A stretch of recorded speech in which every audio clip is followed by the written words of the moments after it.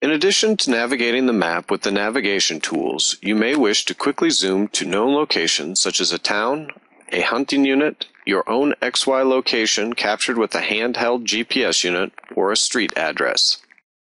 The Find a Place tool located in the upper right of the atlas provides easy access to almost any geographic location in Colorado. To search for a place, simply begin typing in the input box.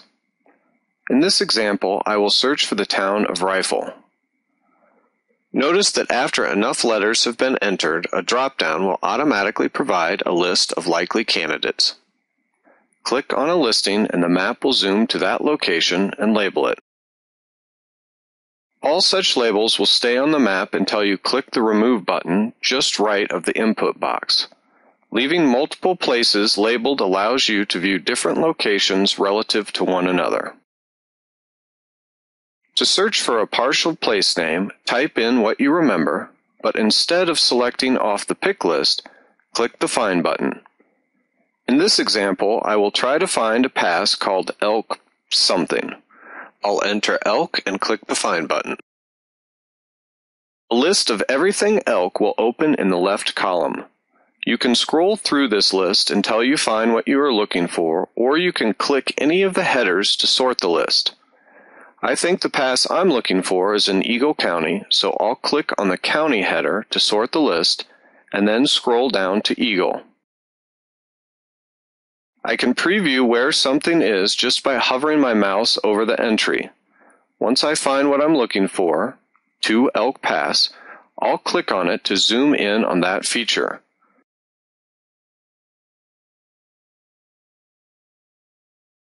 To navigate to an XY coordinate of your own, enter the values separated by a comma in the same input box on the Find a Place tool. Here I'll enter a latitude and longitude as decimal degrees and click the Find button.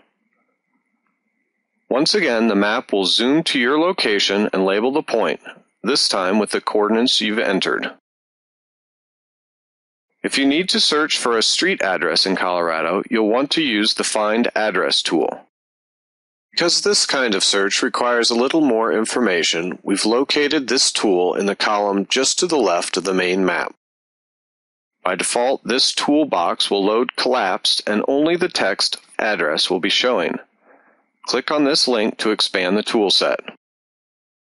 From here, simply enter a street address, a city, and a zip code. Click the Find button to zoom to the desired address. The Clear button will remove your entry, and the Remove button will clear the graphic and associated map annotation. When you are finished using the Find Address tool, you may minimize the toolbox by clicking on the minus sign icon in its upper right corner. Hopefully with what we've covered in this video, you should always be able to find what you're looking for. Be sure to check out our other tutorial videos to learn more about the other great features in the Colorado Hunting Atlas.